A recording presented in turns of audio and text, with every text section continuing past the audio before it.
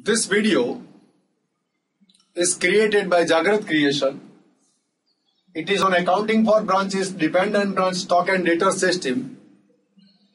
I wish to explain one sum on stock and debtor system.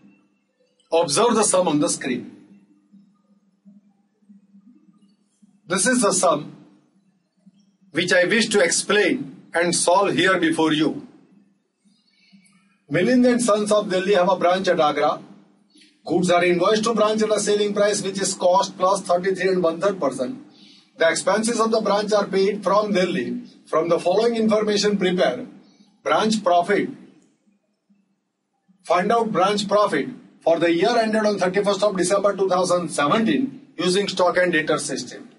Stock at branch 1 1 2017 invoice price. Stock at branch at the end of the year invoice price. Branch account goods sent to branch during the year at an invoice price 1 lakh includes goods invoiced at rupees 16,000 to branch on 31st of December 2017 but not received branch before the end of the year. So total goods sent to the branch is 1 lakh. Out of that, goods of 16,000 were sent by the end of the year and they were not received by the branch by the end of the year. So it is goods in transit. Return of goods to HO, credit sales, cash sales, receipt from branch debtors including 100 from a customer whose account was written off as bad in the previous year, expenses paid by HO, invoice value of goods pilfered, 8000, normal loss at branch due to wastage and deterioration, in stock at an invoice price, it is also 8000, branch debtors as on 31st of December 17000. So this is a, this 8000 is a normal loss and goods pilfered is an abnormal loss how to account for abnormal loss in stock and debtor system and how to account for normal loss under stock and debtor system, system is an important concept to be explained to you in this sum. While solving the sum, the number of accounts that I am going to prepare are branch stock account, branch debtors account, goods sent to branch account, branch expense account, stock reserve account, branch adjustment account, branch profit and loss account. These are the various accounts that I am going to prepare. While solving the sum, I'm, I'm going to write down the journal entries also. And all those journal entries will be presented to you at the end of the sum. So, though you are not asked, you are not asked to write down the journal entries, but I am going to write down the journal entries for your better understanding. Let us start. So, this is branch stock account, debtors account, goods sent to branch account, stock reserve account, branch adjustment account, branch profit and loss account, branch expense account I am going to prepare as and when required. So this is the details of the sum given to you. Stock at branch on 1st of January 2017 at an invoice price 60,000. This opening stock will be recorded to the debit side of branch stock account 60,000. Now this is the invoice price. Stock should be reported in the books of accounts at cost to report the stock at cost, we are required to create a stock reserve.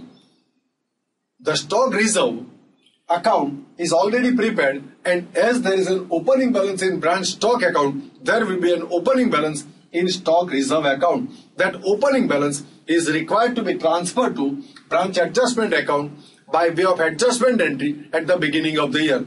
So moment you write down the opening balance of branch stock at an invoice price, we should always write down the opening balance of stock reserve because stock has to be reported in the books of accounts at cost. So what is the profit element in this 60,000? To that extent, there is a balance in stock reserve account. If 100 is the cost, then 33.33 is the load profit element added. So invoice price is 133. So if 133 is the invoice price, then 33 and one third is the profit element. How much for 60,000? It will work out to be 15,000. So there is an opening balance in stock reserve account 15,000. And this opening balance of stock reserve is transferred to branch adjustment account because the opening stock is going to be sold during the year. So you are required to write down the adjustment entry. Stock reserve account debit 15,000 to branch adjustment account credit. So stock reserve account is debited, branch adjustment account is credited. So here in branch stock account, if the invoice price is found on the debit side, the corresponding profit element therein should be recorded in the branch adjustment account credit side. and if the invoice price with invoice price, if the branch stock account is credited, the profit element therein should be debited to branch adjustment account. That's an important understanding that students should hold. So this is how the first entry is done. Stock at branch at the end of the year, 28,000. That will be recorded as closing stock 28,000. Now this is also an invoice price. So profit element therein must be recorded in the debit side of branch adjustment account. So branch adjustment account debit to stock reserve account credit that is adjustment entry recorded. So let me find out the profit element in it. 133 is equal to 33 and one third. How about for 28,000, 7,000? So branch adjustment account debit to stock reserve account credit. So your branch adjustment account debit to stock reserve account credit. The stock reserve account will hold a closing balance of 7,000 at the end of the year.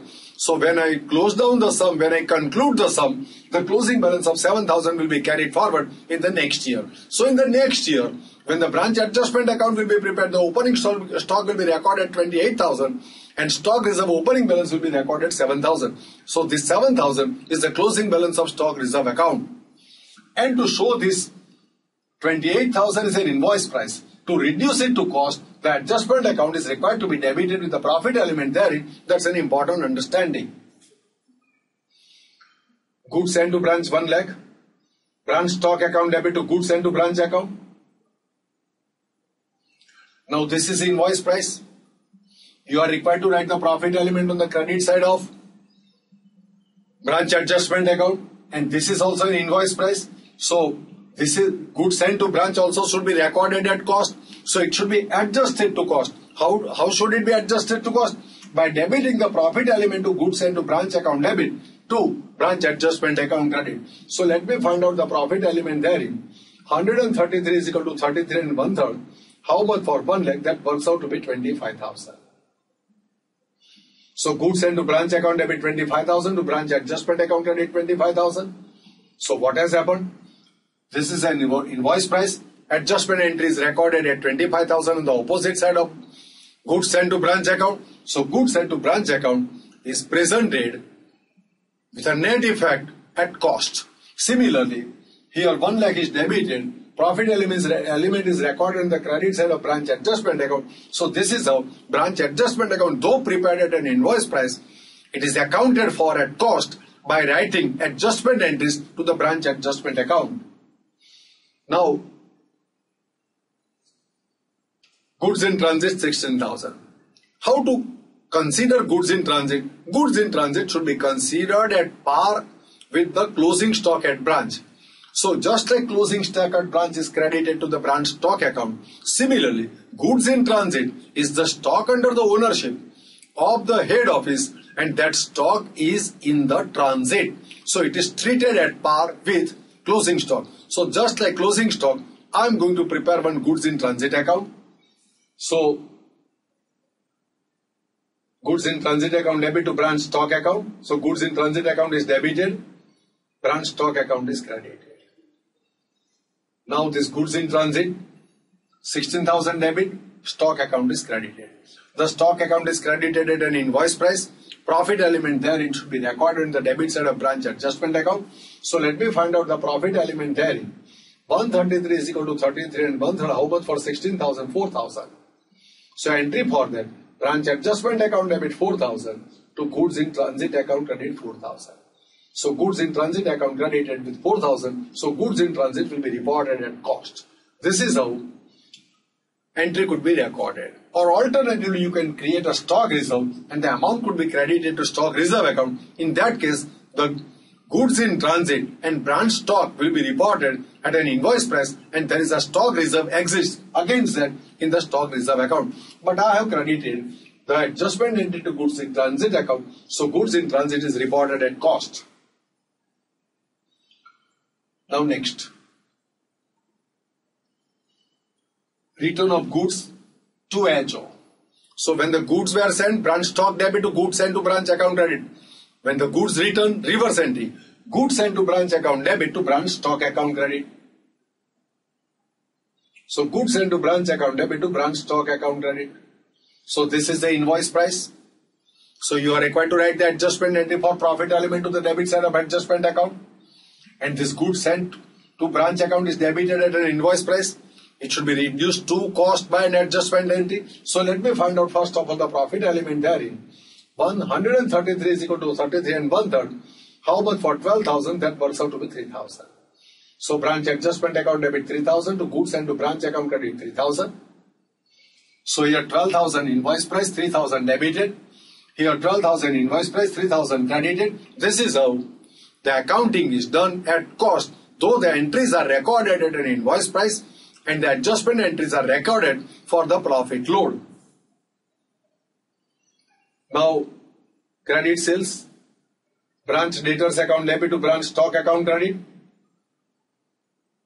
Now, this is a sales. So, no adjustment entries to be recorded for this sales because profit is already real, realized. When the goods are sold, the profit is realized. So, you are not required to debit this adjustment account with the profit element therein because the by not debiting this profit element in this 8000 will be reported as gross profit in branch adjustment account. Cash sales, cash account debit to branch stock account credit. Here the 48,000 is also the invoice price. There is a profit element, element in it. For that profit element, you should not write the adjustment entry in the branch adjustment account. Why? Because on the sales, his profit is realized and by not writing this type of entries in the adjustment account, the adjustment account difference will report the gross profit. So, next, receipt from branch debtors includes including 100 bad debt recovered. So 30,000 is the amount received net. Cash account debit to branch debtors account credit. So branch debtors account is credited with 30,000 and the 100 bad debt recovered is an income that will be credited to profit and loss account. So cash account debit to branch profit and loss account credit, bad debt recovered. Here I should have write cash in bracket bad debt recovered. So 100 is the income credited to profit and loss account. Now, expenses paid by HO, branch expense account debit to cash account. So here branch expense account is debited, cash account is credited. Invoice value of goods pilfered abnormal loss. Where there is an abnormal loss, abnormal loss is credited to branch stock account at invoice price. The profit element therein is debited to adjustment, adjustment account. And the cost element of abnormal loss is debited to profit and loss account. Because abnormal loss is a uh, is not considered to be an inevitable loss. It is a controllable loss. So such losses should be uh, adjusted against the profit, while in case of normal loss, it is an inevitable loss, so it must be reflected by the gross profit. So here the goods bill for 8000.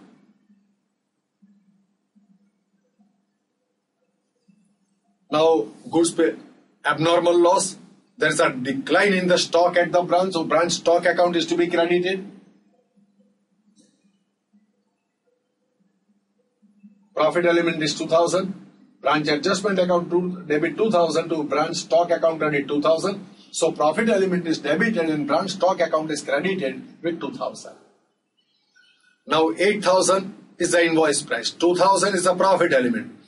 Cost of abnormal loss of stock. So abnormal loss of stock at cost 6000. 133 is equal to 100. How much for 8000? 6000. Branch profit and loss account debit to branch stock account credit. So profit and loss account debit to branch stock account credit. This is how abnormal loss of stock 8000 is credited to stock account. But remember, profit element is debited to adjustment account and cost element is debited to profit and loss account. This is an important understanding that one should hold. The abnormal loss, suppose that goods are destroyed by fire, whatever the loss occurs is debited to profit and loss account. But in case of normal loss, profit and loss account is not debited. The normal loss is reflected by matching concept in the gross profit. So normal loss in reduces the gross profit. Now you are also given the normal loss of 8000. Normal loss branch adjustment account debit to branch stock account credit. adjustment account debit to stock account credit. So here normal loss is also credited to branch stock account at an invoice price. But the total value, profit element and the cost element, both are debited to branch adjustment account. This is an important understanding that students should hold for accounting of abnormal loss and normal loss under stock and debtor system. Now closing balance of debtors 17,000. So all the information is considered. Now I start, I should start closing the accounts. Now, first of all, total of credit side 1 lakh 60,000, total of debit side is also 1 lakh 60,000. This implies that goods are sold by branch strictly at an invoice price. No sale is no sales has been made by branch above the invoice price or no sales have been made by a branch below the invoice price. So when the goods are sold by a branch exactly precisely at an invoice price, the difference in stock account won't appear. Or even if the difference occurs, that may be reported the difference is found on the credit side, then it will be treated as loss of stock. Then you have to identify whether that loss is normal or abnormal and you should go for its accounting. But if, but if a negligible sum difference is found on the debit side of the branch stock account, then it should be treated either selling goods above the invoice price or sometime if the amount is very negligible, it may be treated as abnormal gain. Now in case of debtors account, I'll find out the opening balance of debtors, not given to me. Now goods sent to branch account will be transferred to purchase account or trading account. So goods are sent to the branch out of goods purchases. So it is transferred to purchase account. So net purchases will be reported by head office for its purpose. Stock reserve closing balance 7000. Now goods in transit. Closing balance of goods in transit 12,000. Branch expense account is transferred to profit and loss account. So profit and loss account debit to branch expense account credit. Now gross profit that is transferred to profit and loss account. So branch adjustment account debit to branch profit and loss account credit 16,000 and here you will get the net profit 16,100 minus 8,000.